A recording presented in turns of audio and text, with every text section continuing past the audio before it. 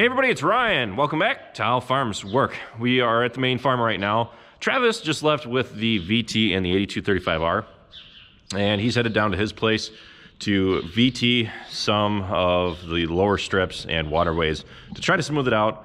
And then we are going to take the 4020 and the harrow down and level out the ground. So what we've done in the past um, has been that we would typically VT, drill our grass or our alfalfa, and then follow along with the harrow. However, with our Fuerst harrow, I think it's a little aggressive uh, compared to what we've used in the past. And I think with the heavy amounts of rain that we got last year, uh, it hurt us because it covered up the grass a little bit deeper than what it should be. But uh, with this drill, I think that what our game plan was before we even got this new Kuhn drill was that we were going to harrow it before we drilled it.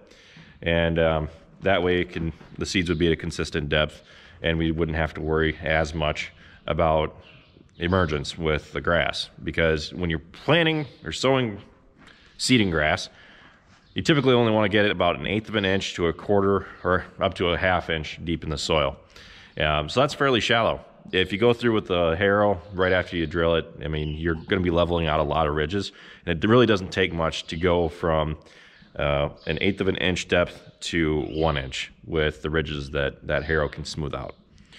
So we're gonna take the 4020 down in the harrow and start harrowing down there. And um, then tomorrow we'll come through with the seed drill and we'll be seeding it down. Uh, we're trying to do a lot of waterways and lower strips to slow down the erosion um, with all the rain that we'd gotten last year. The rain really hurt us. We're gonna fire up the 4020 and head out. All right.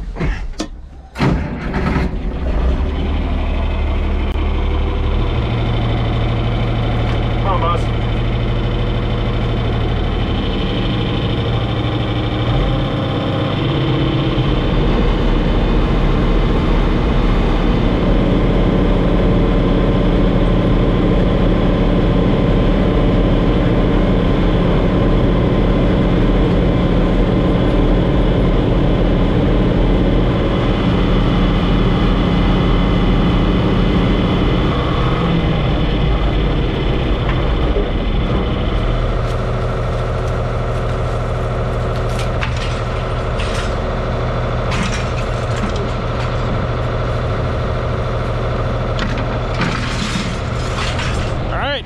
All set up. Let's get started.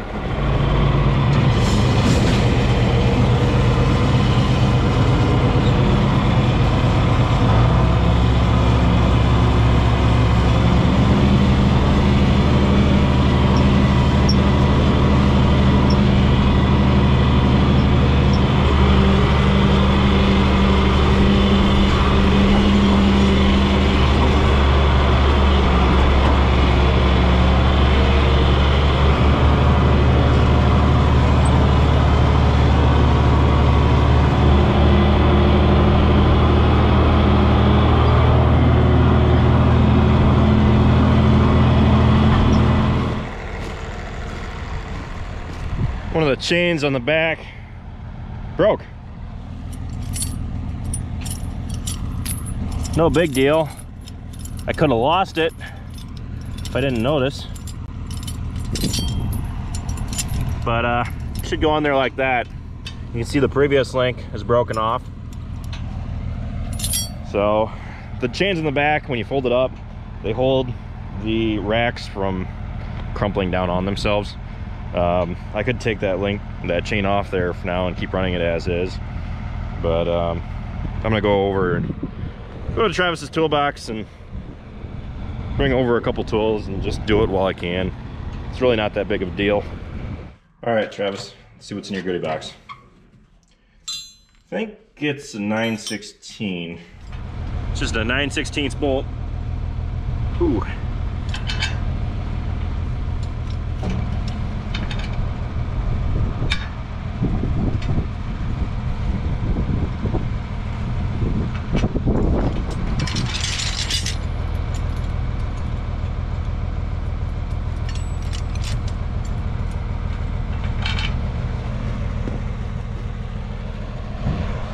There we have it.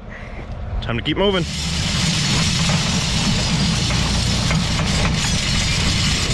Whoa! Look at that boulder.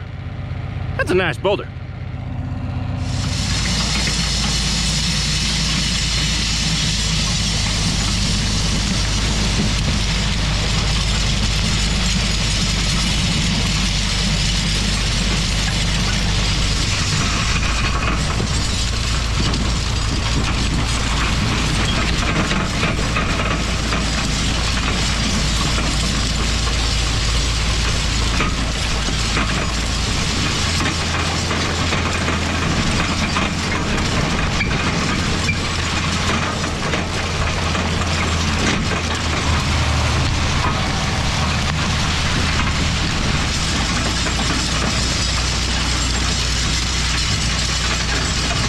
We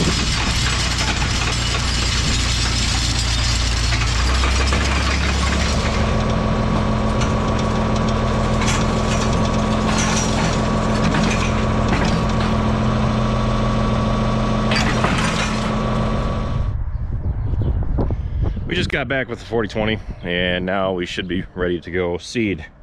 Now that everything's harrowed, should be nice and smooth.